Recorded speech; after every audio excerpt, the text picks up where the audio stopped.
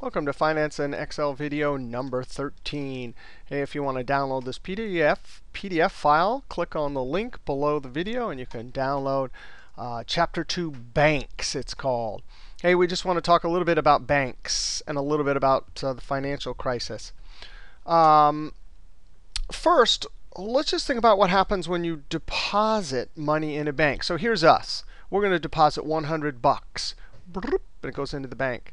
Now, on our records, we record our 100 bucks as an asset. On the bank side, the 100 bucks goes in. Now, they have an asset account called cash too. They put it in that. But the account that we're interested in is the fact that they have a liability, right? Deposits payable or whatever it's called. So, this $100, even though to us on our our books, right? It's an asset. On the bank's books, it's a liability because they owe us. So that's going to lead us to the fundamental problem with banks. Here's how banks get cash.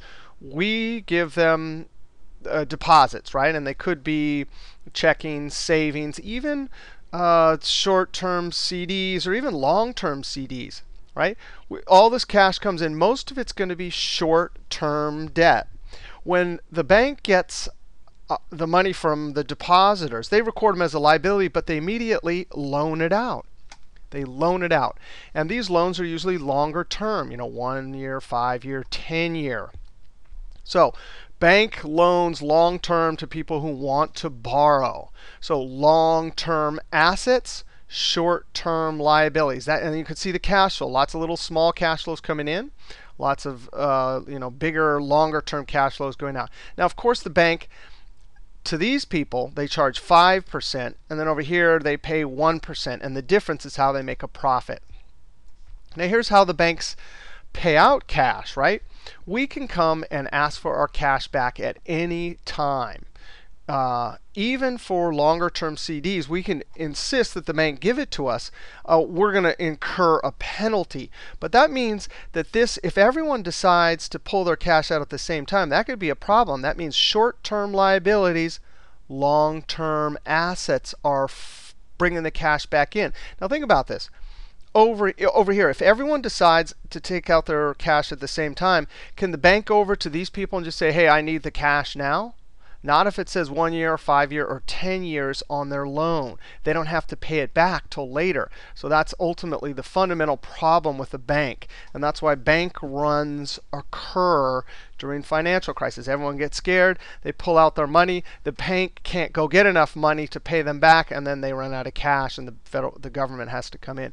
Also, in this financial crisis, what happened? The long-term loans well, a lot of them didn't come in, so they didn't have the cash to pay out over here. All right, another thing about uh, banks, the investment banks and the current, the recent financial crisis. There's a great book called The Big Short by Michael Lewis. And basically, the conclusion the book, the book is gripping. It's uh, how, a lot of things that happened in the financial crisis. But the conclusion of the book basically said this. Hey, Goldman Sachs CEO Lloyd Blankfein, Morgan Stanley CEO Joe Mack, a bunch of these other guys, including Howie Hubler. Uh, he worked in Morgan Stanley. He uh, holds the world record for biggest loss in financial history on a single trade. He lost $9 billion on a single trade. Uh, Lehman Brothers, Richard Fuld, uh, AIG, Joe Cassano.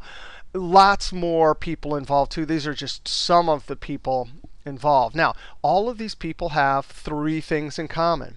They all ran public companies, right? These all had stock. They issued stock. These are the managers inside the company.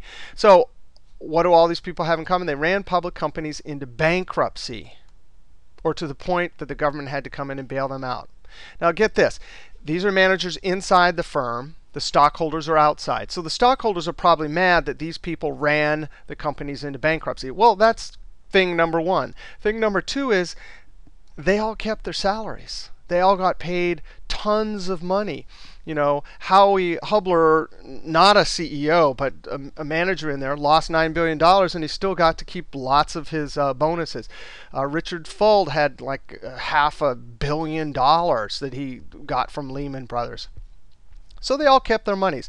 Now, if you were the stockholder and your managers crushed your company, would you want to still pay them? Probably not. But that happened. Here's the final thing that happened.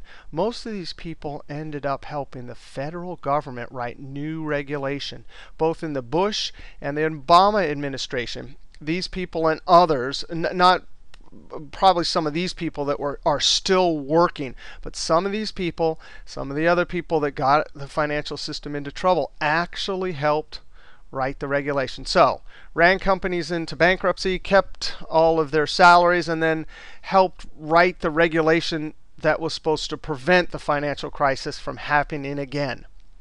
So, the questions. Not going to answer these, just pose these questions to you. If this is all true, what signal does this send to the market about incentives?